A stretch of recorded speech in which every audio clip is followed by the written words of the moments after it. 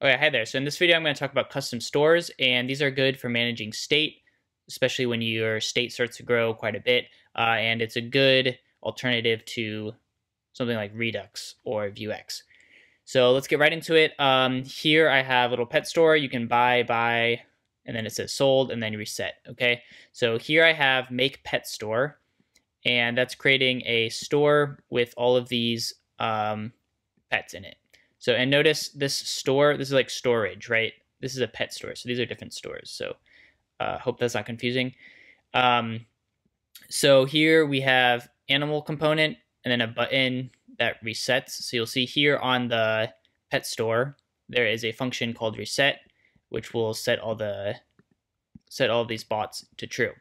Okay, so let's look at the store. So this is the custom store.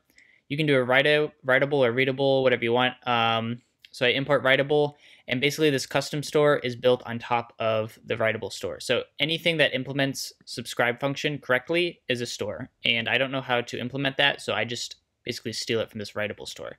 So it's basically um, like extending this writable store to make my own store. Okay, so this writable store pass uh, will return you these three functions: set, update, subscribe. And the, all three I'm going to also return from my store because my store is a writable store but it has extra functionality here.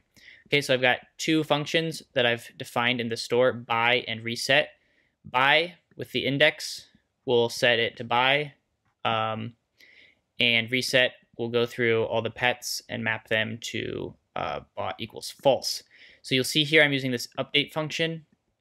It gives me um, pets, and then I just need to return pets at the end, which will update uh, the store, the value of the store, okay?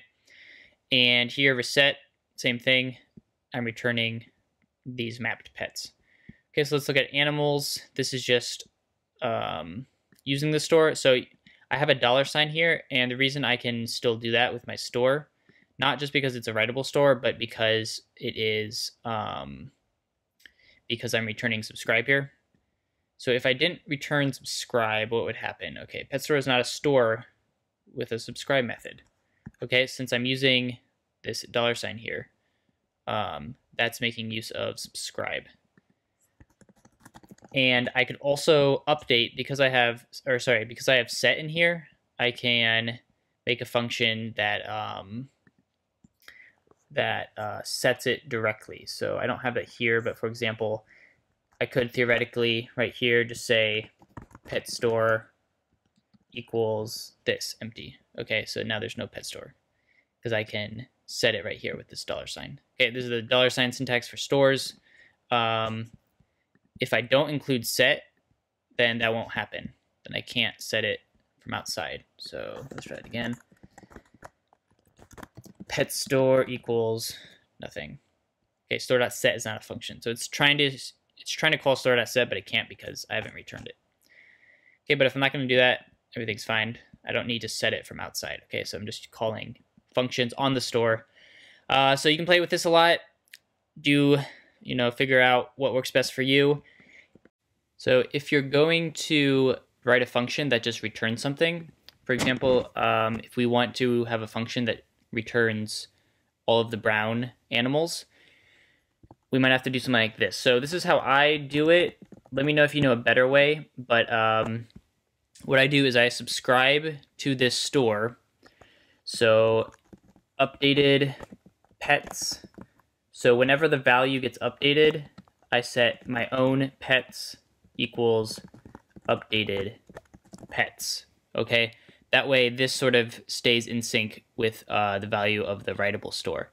Now that seems kind of confusing, but um, so this pets here is not the same as this pets, right? This is a pets this is just passed into update, and then writable takes care of it. So if I do petsys like this, it doesn't matter because this just disappears. Um, it's never used down here. These are just in functions. So let's say I keep my own personal petsys subscribed to the value of this store. Then I can write a function um, brown animals and return uh, petsys dot filter pet goes to pet dot color equals brown. Okay, so that should work. So, um, so basically, since so since my function is basically just like a wrapper around this store, the value of the store is here in this uh, store, right? Okay, and I'm just kind of updating it with these functions. So here, by using subscribe, I have my own internal variable called petsys uh, that is staying in sync with this writable store uh, that I can use. Okay, so hope that makes sense. Uh, if not, leave a comment. Let me know if you know a better way to do this uh, or any questions or whatever. Okay.